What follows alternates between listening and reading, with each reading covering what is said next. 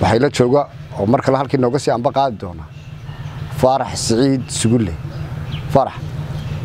Kun iyo siddeed boqol iyo afar iyo siddeedkii waa ka dhammaanay.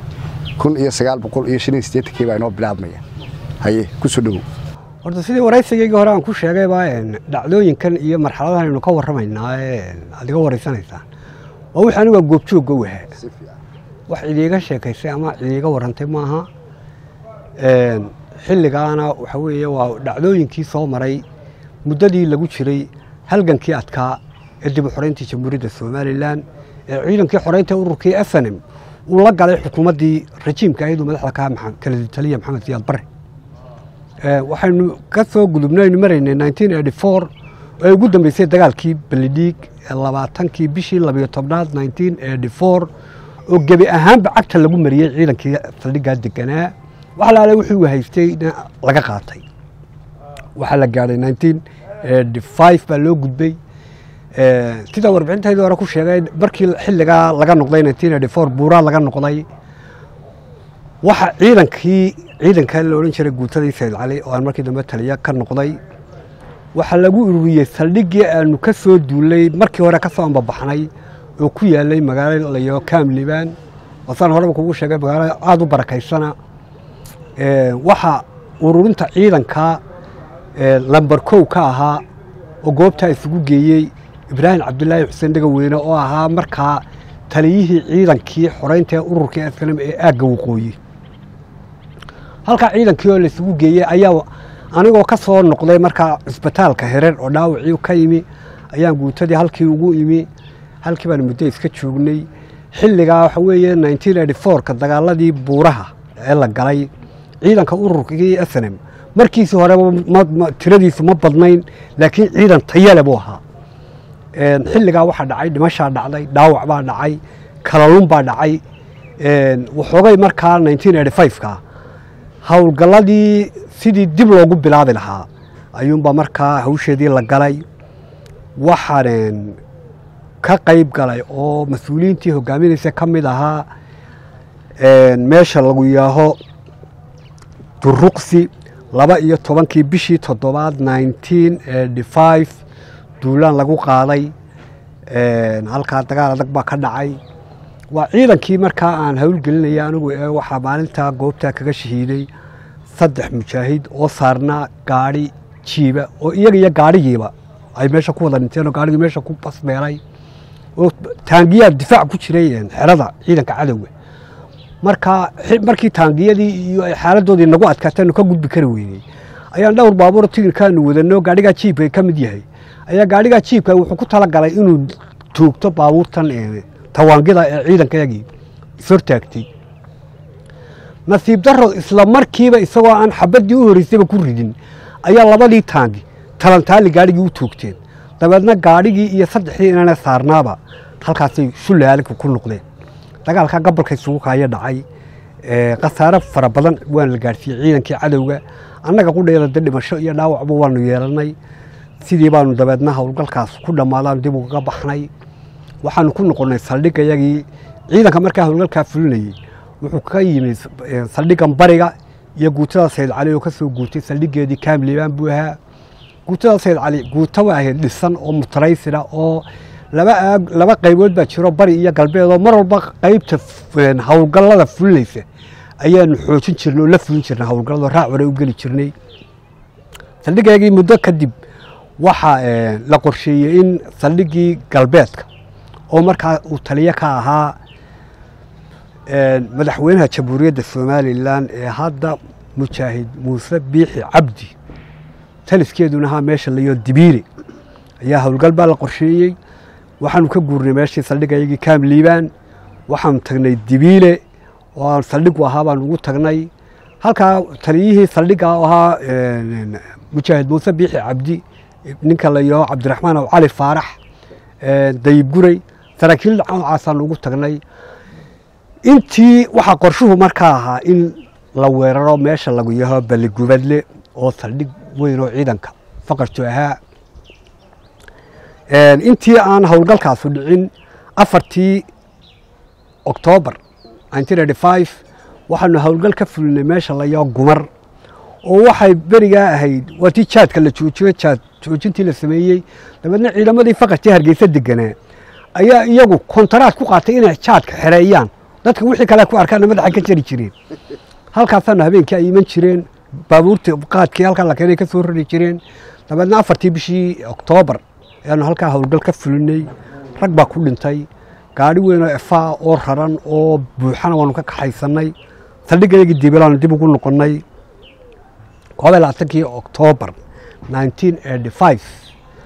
Waxaanu duulaan ku soo qaadnay meesha la yaaho balligubadli oo ahaa saldhig adag dagaalkaas dagaal adag buu noqday ciidanka iyagu dhowr jiho maalintaa ciidankii meesha weeraray mooye dhowr meeloodoo kalena jidgooyooyin baa loo diray oo dhinacan waddada ka timaada ina guuxaa cutub baa loo diray uu wato taliya ku-xigeenkan iminka ciidanka mariniska jenaraal xasan cali cawil xasan cali dheere.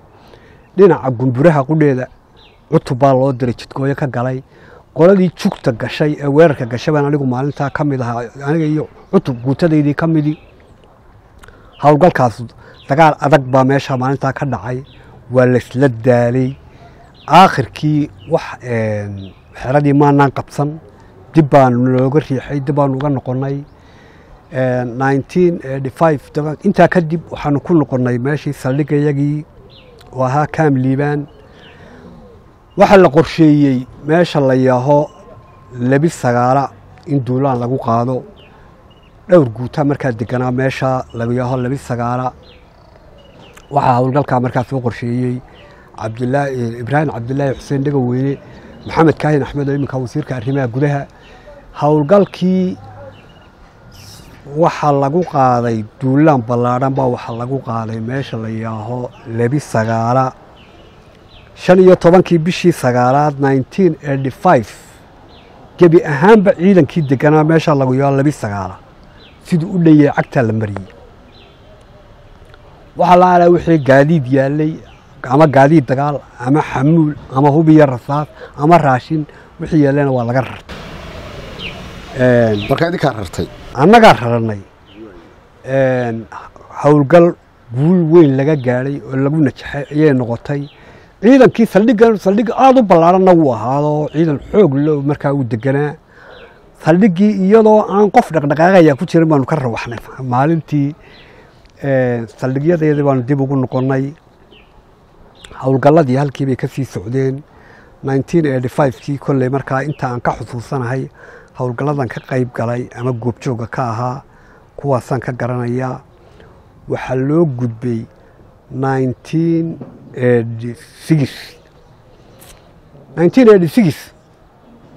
waanigii xagga hore ku soo sheegay markii laga noqday buuraha in waxoogay ciidankii dee dhaawac iyo dhimasho badan iyo burbur badan uu jiray oo markaa howlgalladu ka aanay badnayn.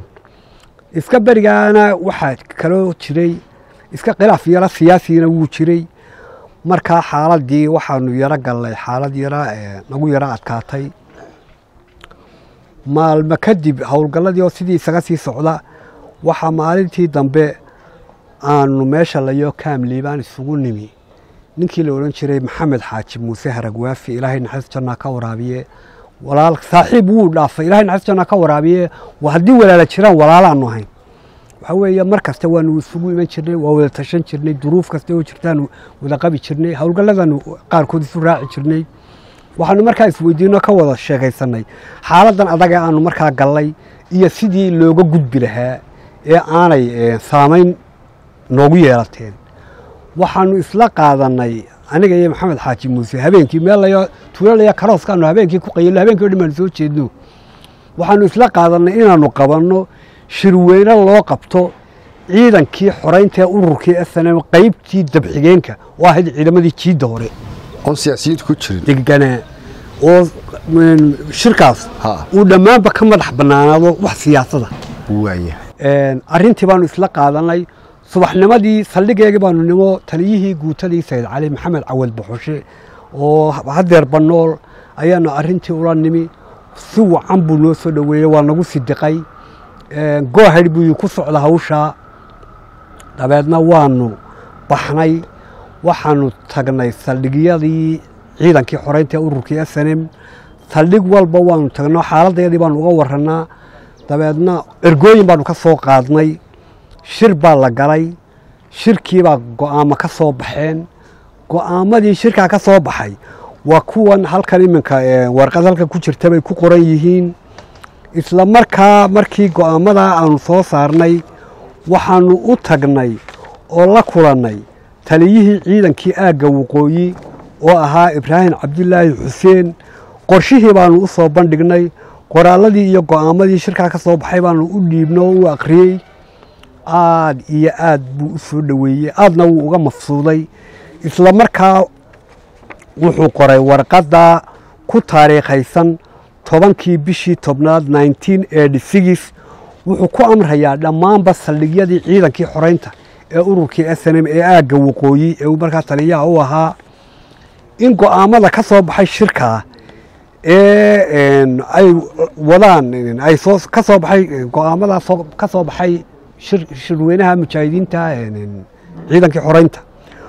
Oo markaa laga sameeyey qodobadii ka soo baxay waxaa ka mid ahaa in la sameeyo koox layo xidhiidhka mujaahidiinta oo toddoba iyo tobanka nin halkaa ku qoran ahaa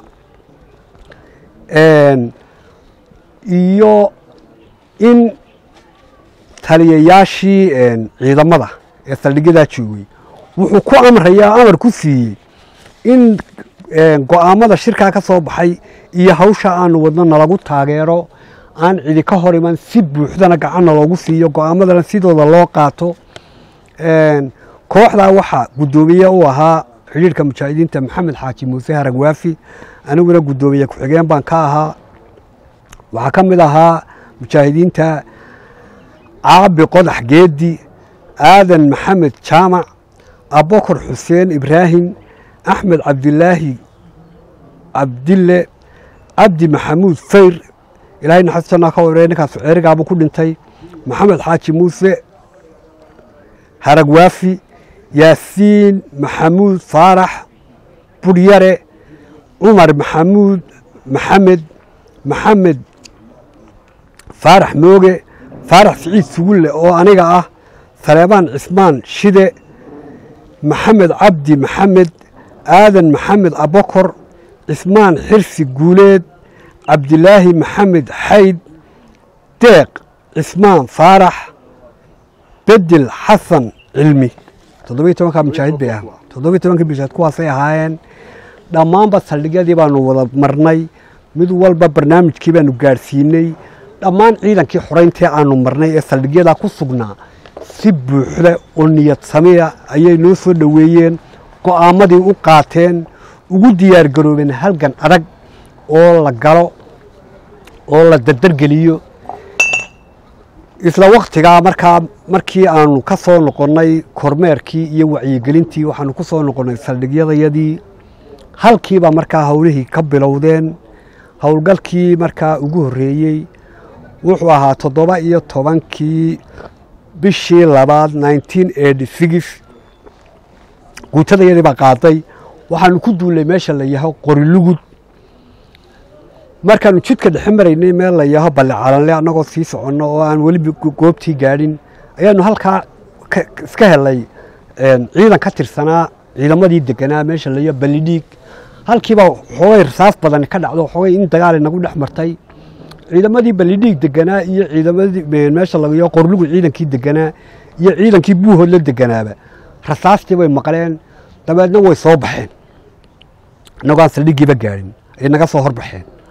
Waxaa soo horreeyey oo nagu soo horreeyey ciidankii ka soo baxay buuhoodle. Waxaanu iska helnay meel balli oo layo arbaxaale halkaasaa dagaal adag nagu dhex maray. Laba mujaahid baa goobtaa maalintaa nagaga shahiiday nin la odhan jiray calanle ilaahay naxas jannaha ka waraabiyo.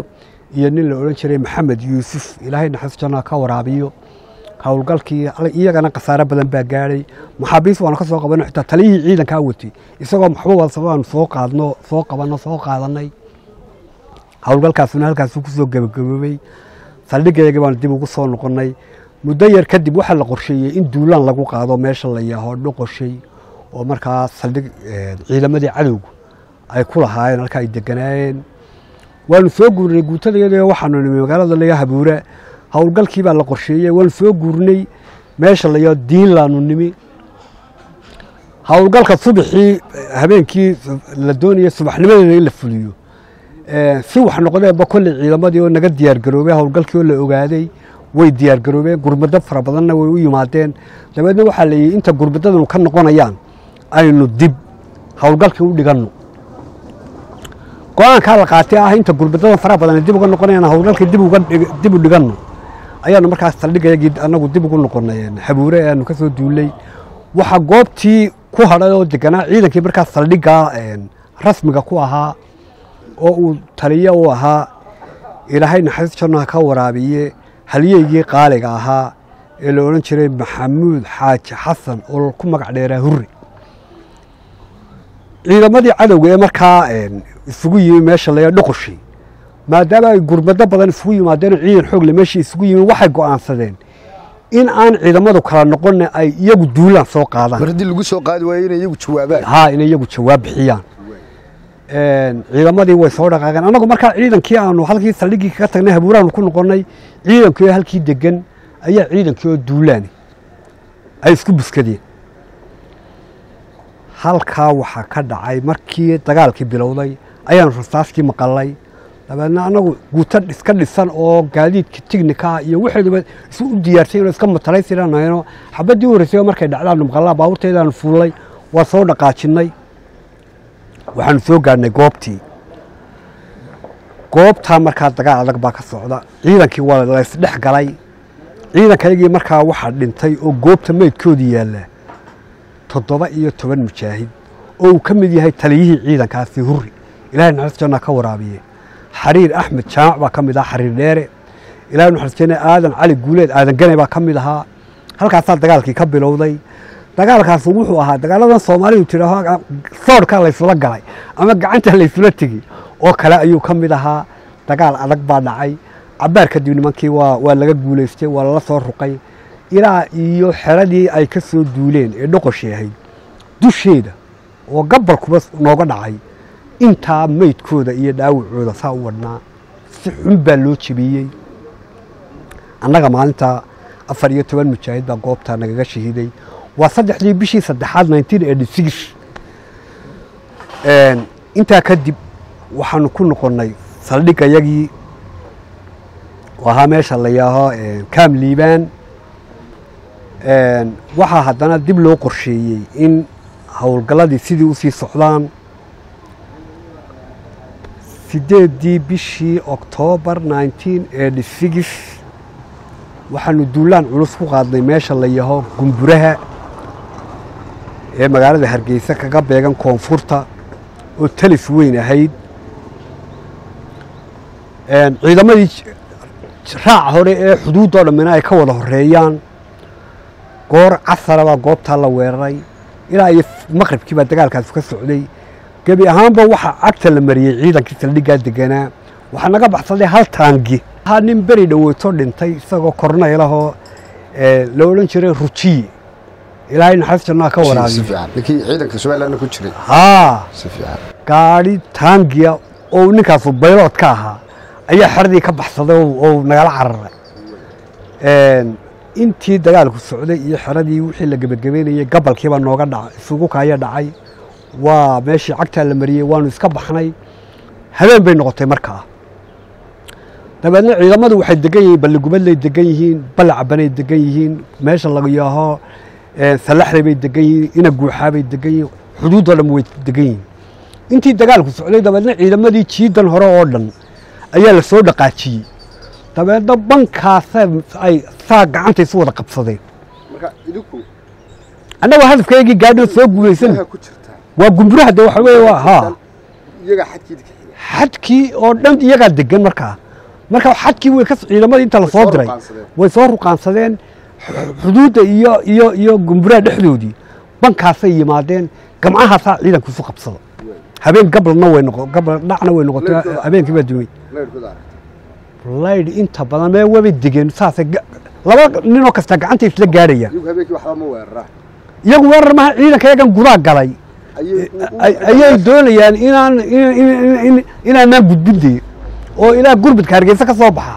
Uu na soo gaadho afarta beelisooba nalaga yimaado halkaa nalagu riqaba iyagu ku talagalkoodu yahay habeenkii waxaan xasuusanahay meesha layo bankan ka soo dambeeya meesha lagu yaaho meesha lagu yaaho balligubadle iyo gumar ku soo beegan. Bannaanka dhul bannaanaba ayaa ayaa oo ballaarhama meeshaasa. Waxaan xasuusanayaa habeennimada rasaastii dagaalkii halkaa ka dhacay rasaastii la ridayey. Haddaan ku idhaho quraanjada dhulka maraysa sida kowda maalnimo ama labada maalnimo wax loo arko ayaa rasaasta iftiinkeeda wax loogu arkayey.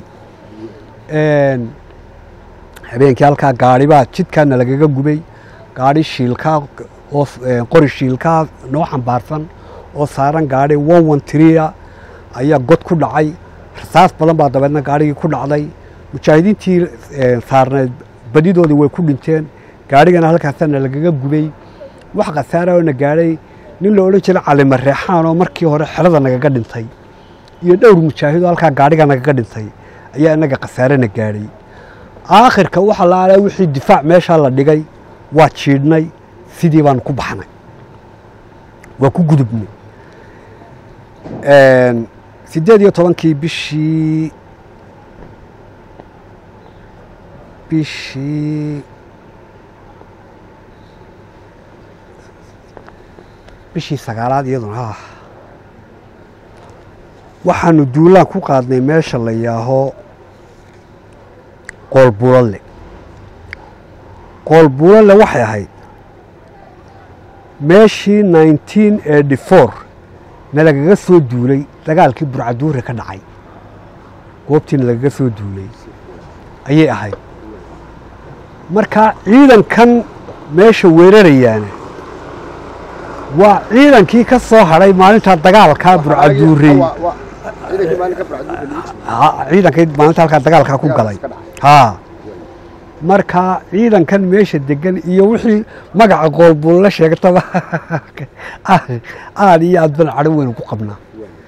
Dagaalkaa waxaa joogay oo barta hogaaminta maalintaa joogay. Ninkii ahaa guddoomiyihii ururka s n m axmed maxamed maxamuud silaayo oo ahaa guddoomiyihii ururka s n m. Barta hogaamintuu joogay maalintaa noo joogay. Goor subaxnimo a baanu weerarnay gebi ahaanba meeshaa ciidankii deganaa u fili maayo inay jiraan wax xitaa dhaawac kaga baxay. Dabeedna sidii baa howlgalkii ku guulaystay waanu kaga noqonnay waxaa isla maalintaa isaguna dhacay oo dagaal adagi ka dhacay oo ciidanka faqartu soo qaadeen oo wasiirkan arrimaha gudaha ee maxamed kahid uu ku dhaawacmay meesha laga yao garanugle dagaal adagi ka dhacay khasaaro badani ka dhacay aada la isugu riiqday. Maxamed kaahino markaa howlgalkaa hogaaminayana wuu ku dhaawacmay. Sixkaa markaa meesha laga yao geed ballaadh balle cabane sidaasaa talifyadii iyo ciidamadii xuduudda oo dhan cagta loo wada mariyey waxay gaadheen ciidamadii cadowgii naga soo hor jeeday markaa wax kale daayo kalsooni darradii nimankaa ku dhacday iyo jabkii gaadhay haddii xoolaha magaalada ku soo arooro meelaha saldhigyada ay ku leeyihiin xoolaha ku soo arooro siigada ay kiciyaan ama siiga darala hadday u kacdo inay yaacaan oo yahaan waa kuwa nimankii. Ayay gaadhay kalsooni darridii jabkaasu gaadhsiiyey. Boqolkii sagaashan iyo sagaalna howlgallada nineteen eighty sixkii waxay ahayn howlgallo si fiican wada guulaystay aan midna nalagu jebin. Inta aan ka xasuusanay markaa meelahaasaa howlgalladii ka dhacay ka mid ahaa aan anigu goobjooga ka ahaa xilligaa markaa wixii ka dambeeyey ee markii la gaadhay ciidamadii cadowgu markii guuldarradoodii badatay ee bahdil weyne ku dhacay ee ay u adkaysan waayeen duulaankii iyo dagaalkii uu ku hayay ciidankii xoreynta ururkii snm waxay sameeyeen qorshihii markaa difaacoodii ayay bedeleen saldhigyadii ay deganaayeen. Waxay gebi ahaanba ka dhigeen meel la wada miineeyey. Difaacyadii ay markaa deganaayeen difaaca u ahaana way bedeleenoo qaab difaac kale oo aan noocii hore ahayn. Oo xitaa gaadhiga taangigaah marka uu weerarka yahay uu ku fiican. ayay tarajaygiina u bedeleen miinadana tii dadka iyo inkastoo ay boqolkii sagaashan iyo sagaal ahayd miinadii gaadiidka meel walba waxay ka dhigeen sida qashinka u dhigeen. Si aan marnaba ciidankaa gala, ururka sare marka uu soo galo aanu meeshaa guul ugala tegin ama aan si fudud soo gelin ba haa wax gaadiid oo aanu leenahayna aanay duulaankaa uga qayb gelinba waayo goob kasta oo cagtaa la dhigo miino lidka anta taangigaabaa taalla. Waa 1987 markaa. Waxa markaa adkaatay qaabkii looga guulaysan lahaa difaacyadan iyo qorshahan cusub ee ciidankii cadowga ay degeen waan xasuusanahoo laba iyo tobankii ogost 1987 waxaanu weerarnay meesha la yidhaaho ina guuxaa. Waxaa qura oo meeshaa u bannaanayd oo weliba aan lahayn mi- miinadan eh, lidka dadka. Dhinaca waqooyi galbeed ee waddada hargeysa xaggeeda ka timaado intaa dhiftan yaroo ah ayaa u bannaanaa. Inta kale meel cagtaa la dhigo oo bannaanay may jirin. Subaxnimadii waxaanu ka weerarnay markaa jahadii bannaanayd ee u bannaanayd ay miinada lidka taang lidka dadku aanay oolin ayaanu ka weerarnay. Niman aada isu difaacaya inkastoo duruufi jirto ninku marka uu haysto meeluu u baxo ayaa si fudud u kicin karaysaa laakiin ninkii meeluu u baxana ma laha oo jahadii uu u bixi lahaa dee iyagiiba iska soo xidhay. Waxaa adkaatay markaa jaha ay u baxaan ciidankii way waayeen. Dabeedna waxay go'aansadeen iyaguna nin kastaaba tarajaygiisa inuu ama ku dhinto ama isku difaaco. Dagaal adag adag adag adag baa meeshaa aanu kala kulannay. Aakhirkii waxaa la isugu tegey tarajaygii.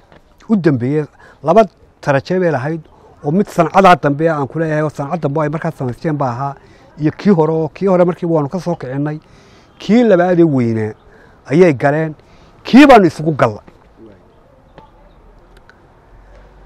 waxaa maalintaa goobta nagaga shahiiday nin sarkaala oo ururka snm aada qaali ugu ahaa oo magac ku lahaa oo lafdhabar ahaa oo la odhan jiray axmed maxamed guutaale wuxuu ahaa injineerkii baabuurta qoryaa noo saari jiray ee ururka snm baabuurta qoryaa u saari jiray.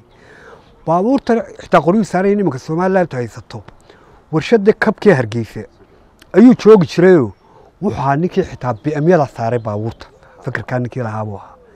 Nin xagga ururka marka la eego lafdhabar u abuu ahaa wuxuu kala ahaa nineteen kowdii bishii koowaad nineteen eighty three. Mandheere markii la jebiyey.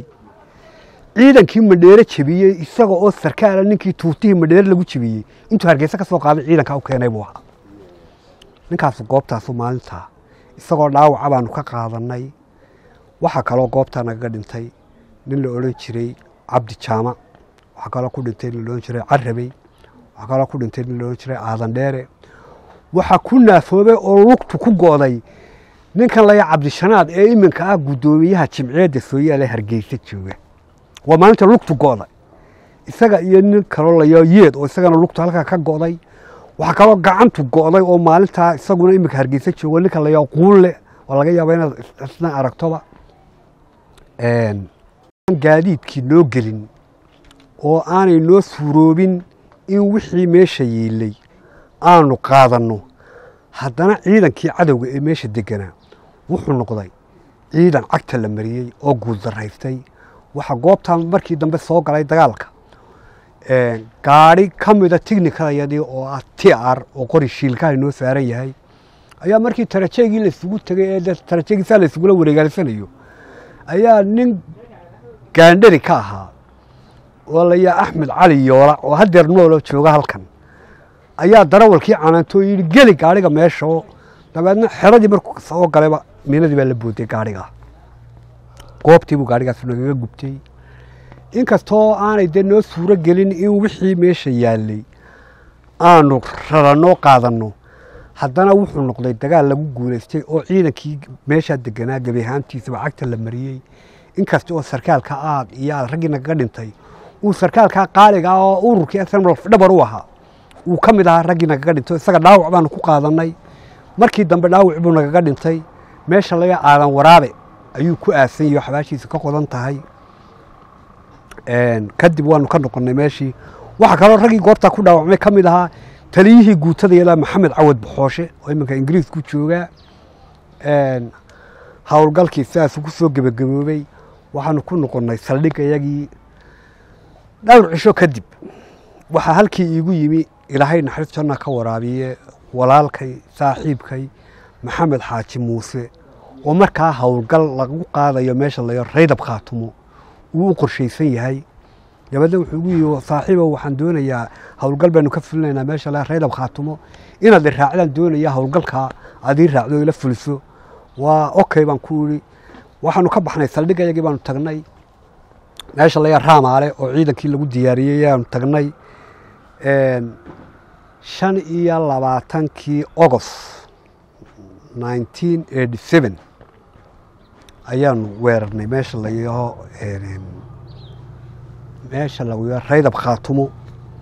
Waa sidaan hore kuugu soo sheegay waa meelaha sida xaddhaafkaa miinadu u taallay miinada loo dhigay ee ay yar tahay meel bannaan oo raggan ciidankan efantariga dhinac matalan way ka helayaan meelay iyagu ka galaan laakiin gebi ahaanba gaadiidka iyagii dabka dee ku naafeynaya ciidankan cadowgu ma jirto hal baabuur oo geli karaya meesha tallaabadii la qaado miinaa taalla weliba inta badan dhinacan koonfurta oo ahaa jihadii aanu markii hore kaga soo weerari jirnay macalmiinadii lidka dadka ayaa iyaduna taalla dabeedna goor casara baanu weerarnay dhinaca barigaanu ka soo weerarnay gaadiidkii malkii ciidanku baabuurta kaga daatay baanu baabuurtii tiknikada ahayd kaga nimi. Ilaa laba meelood oo kalena ciidan jidgooyaa baa loo diray. Waxaan raacay anigu markaa ciidankii raaca hore. Saaxiibkay maxamed xaaji muuse gaadhi yaroo tiyota ah. Ayuu saaran yaho uu markaa ciidanka la daba socdaao ku talagalkiisiyo dee inuu ciidankana hawlgeliyo. Wixii dhaawacmana in gaadhigaa la saaro dabeedna meeshii dagaal adag baa nagala kulmay. Saddex difaac bay meeshu lahayd. Labadii hore waanu la soo kacnay. Kii saddexaad baa laysla gaadhay. Nimankii jahadii ay u bixi lahaayeenna waa tan dee badan miinaysan. Dabeedna dhinacii ay kale ay u bixi lahaayeenna ciidan inagoo ciidankaygii jidgooyada ahaaye ayaa isaguna ka soo daboolay nimankii markaa u baxayey dhinacaa u bannaanayd ee efantariga ah difaaca ka baxayey waxa ay ku khasbanaadeen inay difaacii dib ugu soo noqdaan. Oo xaggii kale laga soo celiyey xaggii kale laga soo celiyey waxaan xasuusanahay tarajeyga dushiisii. Waxaa ku dhaawacmay nin sarkaaloo iminka halkan joogo laya cali hure cali hoosujeed. Dabeedna cali hoosujeed baa intan gacanta qabtay isagoo wejigiisu wada dhiig miidhan yahay ayaa intan gacanta qabtay. Ayaan dib ula soo cararo waxaan sidhi halka dambe intaad geyso raasta ka dhex saarto aad dabeedna ka soo noqotid markaan cabbaar la soo orday oo aan markaa labadii difaaceed aan markii hore ka gudubnay oodii baan dhinacan u soo dhaafay oo aan si aad markaa ka noqotid. Ayaa waxaan arkay gaadhigii tiyota ahaa ee maxamed xaaji muusaarnaa oo in yar ii soo jira. Dabeedna intaan gacantay aan haye baan la soo cararo waxaan gaadhigii baan la soo gaadho gaadhigiina wuu soo gaadhay. Dabeedna waxaan ku war qabta ninkoo gaadhigii baan ku isagiina gaadhigii baan ku ihi fuul gaadhigii buu koray markaa. Aniguna markaa inta kala jeediyaan big dib u idhiyo ciidankii dee jiidda hore aan markaa la socday mas'uuliyiintii hawlgelaysa ka mid ah ayaan dib ugu carara. Isla markii aan in yar show ka dhaqaaqayba gaadhigii toyota ee maxamed xaaji muuse saarnaa ee cali hoosijeedoo dhaawacana aan saaray miinadii baa la kacday? Waxaan filayay inay hobaskaa dambe ahayd inay kala kacday. Gaadhigii anoo markaa oodii iyo tarajaygii dhaafay ayay miinadu la kacday. Dabeedna anigu jiidaydii horaan iska galay. Dagaalkii nimankii markii dee xaaladii noqotay in ay u baxaan waayaan. Gabalkiiba isugu kaaya dhacay. Fiidkii ayaanu meeshii dib uga soo baxnay. Dabeedna ciidankoo saf ballaadhana oo dagaalkii ka soo baxaan dhex socdo ayaa waxaan u imi gaadhigii aan cali hoosujeed saaray oo maxamed xaaji muusena saarnaa oo qallibanoo miinadii la kacday. Dabeedna maxamed xaaji muusene nin ururka snmna qiimo kale buu ahaa. Xaggaygana nin aada iigu weyn ayuu ahaa.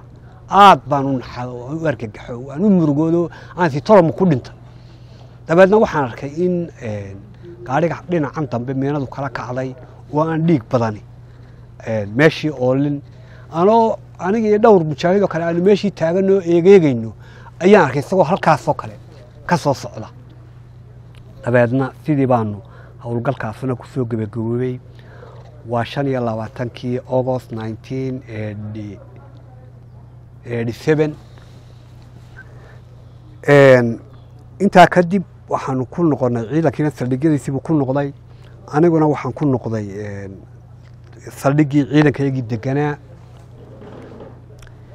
In yar kadib waxaa haddana la qorsheeyey. Waxaa dhacday meesha layo saldhiggan dhexe ee magaalada burco.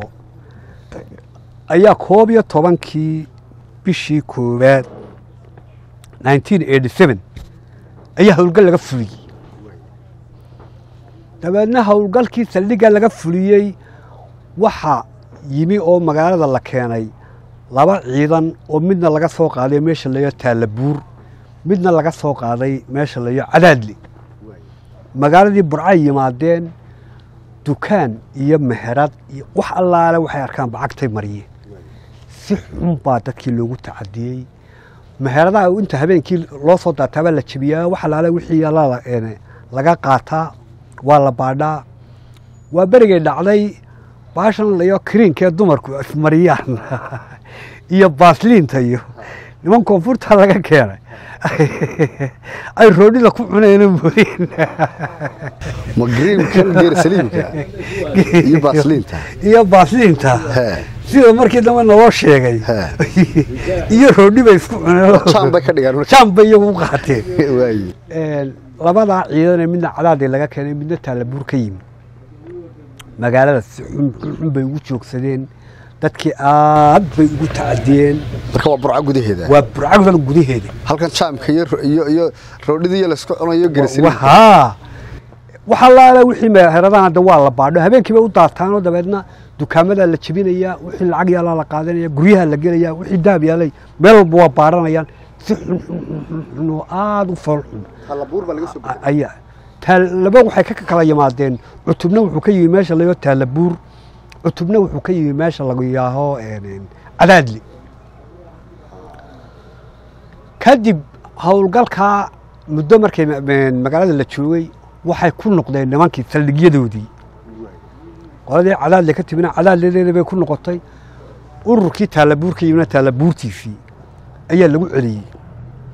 Dabeedna innagoo ka jawaabayna dhacdadaa burco ay ka sameeyeen ciidamadii cadowga markaa ayaa la qorsheeyey in lagu duulo ciidamadii falkaa sameeyey oo saldhigoodu yahay meesha la yaho taalabuur iyo taliskii weynaa oo ahaa balidhiig in labadaba lagu duulaa la qorsheeyey. Waxaa markaa meesha laga yaho taalabuur ciidanka iyagabaa markaa waajibaadka laga siiyey inaan anagu taalabuur weerarno. Ciidamadii kalena waxaa waajibaadka lagu siiyey inay weeraraan meesha la yaho balidhiig balidhiig labaatankii bishii labiyo tobnaad nineteen eighty fourkii waa meeshii inta cagta la mariyay aan waxba lagaga tegin. Dabeedna markan dambe meel kasta oo cagtaa la dhigo miinaa taalla sagaalkii bishii labaad nineteen ayaa duulaankii lagu soo qaaday meesha la yaho taalabuur iyo balidhiig annagu taalabuur baanu soo oo ahaa meeshii nimankii magaalada si- sida xun u baadhay ay deganaayeen ayaanu maalintaa weerarnay. Xuduuddaanu ka soo talonay isla habeennimadii waddadan ka tagta burco ee magaalada xaggan ka gasha burco. Taasaan intaanu jidka ka soo dhacnay ayaanu waddadii dib u raacnay. Si ay ugu qaataan baabuurtii ka imi jirtay magaalada burco. Ciidamadii kalena waxay weerareen ballidhiig meeshii la odhan jiray taalabuur ciidankii deganaa dagaalkiisii waxba naguma adkaan. Difaac weyn oo adag may lahayn. Markiiba waa la jiray difaacii dhinaca koonfureed baa markiiba loola kacay dhulkaas waxay u badan yihiin dhul iska geedgaaba oo aanay ku badnayn dhirtan waaweyn ama meela dee difaac laga geli karo. Maalintan waxaan xusuusanaya markii dambe waxaa la gaadhay heer inta ciidankii cadowga jabay inta rasaasta laga daayo. Baabuurtii tignikada ahayd baabuur loo tayotayaalo foorlayaalo qoryo qori la odhan jiray seegowga ay saaran yihiin iyo beebeeye iyo baabuur badan oo baanu wadanay markii dambe rasaastii inta laga daayey taayirkunba baabuurtaasa taayirka la dhacaysay dabeedna ciidankii meeshaa saldhiggaa deganaa taalla buur ma garanayo wax ka baxay. Wixii u dee markii hore naga baxay meesha ka baxay mooye. Aakhirkii waxaanu dib u rarannay annagu oo xeradii dib uga rarannay. Kiriinkii iyo baasliintii iyo bilidhaqadii ay ka gurteen burco oo xeradii sidaa u rasaysan ayaanu annagu dib u rarno kuwan waa kuwa guryaheena ka soo qaatana innaga xaq tii baanu dib uga rarannay. Nasiib daro laakiin ciidankayagii weeraray meesha layo ballidhiig waa la jebiyey muu guulaysan howlgalkaasu khasaaro weyn baa markaa maalintaa ka dhacay meesha layo ballidhiig oo ciidan etoobiyaan ah ciidankeenna la socday. Aad baa loogu jebiyey ciidankaa etoobiyaankaana ciidankeenna maalintaa waxaan garanayaa taliyo ururadii nin la odhan jiray slow oo faamiliahaanna ka soo jeeda majeerteen oo taliyo urur ahaa ayaa raggii ku dhintay ka mid ahaa. Bashiir fakash baa ka mid ahaa. Nin la odhan jiray cabdi siciid ilahay naxariistanna ka waraabiyeen. Dhaawac bay ku qabteenoo way soo qaateen. Halkana markii dambe ay ku dileen. Nineteen eighty intan xusuusanahay. Kolley howlgalladii dhacay. Kuwaasaan ka xusuusanahay. Waxaana xilligaa dambe nineteen aada u caawinayey miinada xaddhaafka ay difaaca ka dhigteen. Guul baanu kala ciman badanay dabeedna meeshii la odhan jiray taalabuur dabeedna saldhig ayagii baanu dib ugu noqonnay. Intaa wixii ka dambeeyey waxaa la gaadhay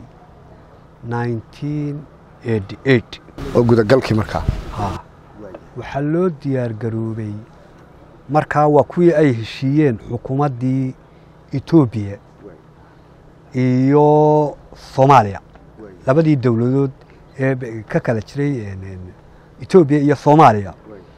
Waa kuwii heshiiye ninkii la odhan jiray afweyne waxaa qasab ku noqotay inuu etoobiya la heshiiyo maadaama mar kastaba ciidamadiisi ay jabeen guuldarra laxalli soo gaadhay wixii noolaa ciidamadiisii ka harsanaana kalsooni darro badani ay ku dhacday ay u adkaysan waayaan ama xamili waayaan xabaddii ciidankii xoreynta ururkii snm